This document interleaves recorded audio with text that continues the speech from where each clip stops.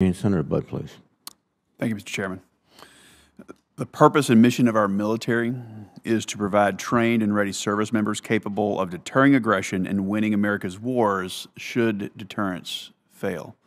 I see some heads nodding, but let me just ask, uh, uh, would you all agree with that statement, uh, Secretary Camarillo, I would, Senator.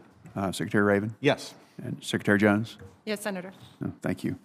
Uh, Millions of Americans right now are genuinely wondering how diversity, equity, and inclusion, gender ideology, and providing taxpayer funding to facilitate abortions increases the military's readiness. They're also wondering whether military service aligns with their values. So, Mr. Raven, in your written testimony, you acknowledge that when you state uh, today's youth aspire to a lifestyle that maximizes work life alignment, where a job in the organization they work for are not just a means to an end, but an expression of their values. So, other than the Pulse surveys uh, previously mentioned, have the services studied or even considered whether a hyper focus on DEI, gender ideology, uh, and abortion is actually negatively impacting recruiting outside of the Pulse survey? Uh, Secretary Cam- Camarillo? Our surveys were very comprehensive in terms of barriers to survey, or barriers to service, excuse me, Senator. And so the, the 16 that were identified on that survey were the ones that came up most frequently. And that's the Pulse survey, just to be clear? Yes, it was the one that was Do you have data outside the Pulse survey? Uh, other than that done by the Army, no. Secretary Raven, any data outside the Pulse survey that's relevant here? Uh, Sir, that uh, pulse survey was not conducted by the Department of the Navy, but uh, I would refer you to some comments made by General Berger just this week in terms of how uh, DEI and other initiatives relate to building combat effective teams, and uh, he views that as essential to the Marine Corps future. Secretary Jones? Senator, we have a number of different surveys and- and climate surveys in particular that address areas like um, discrimination, racism, those types of things. And so that's a focus of our diversity and inclusion efforts to make sure that we don't have parts of our workforce that feel marginalized, that feel like they aren't able to engage, and so that we can have high performing teams. So thank you for, for that. Um, You've added climate to it, but there's no data outside of this showing that climate, DEI, gender ideology, abortion negatively impact recruiting.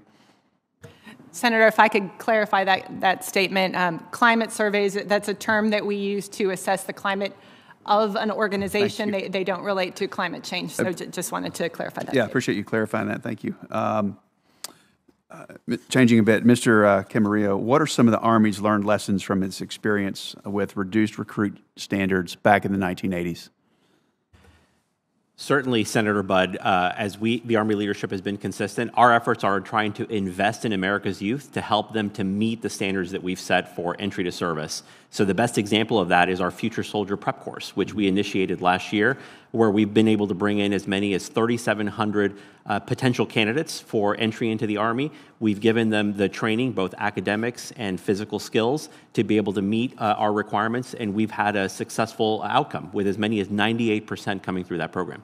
That's great. I heard you mention that in your opening comments and um, elaborate on that just now.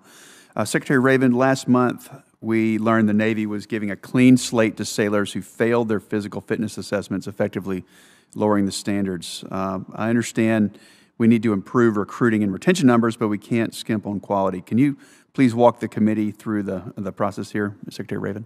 Uh, Yes, I appreciate that opportunity. Uh, So the, uh, the policy relates to giving commanders the option of extending uh, enlistments or reenlistments to sailors uh, who had not passed previous uh, fitness standards.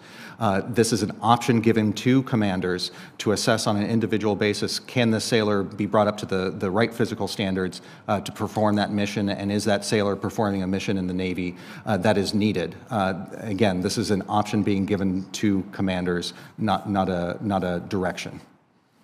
Thank you for that.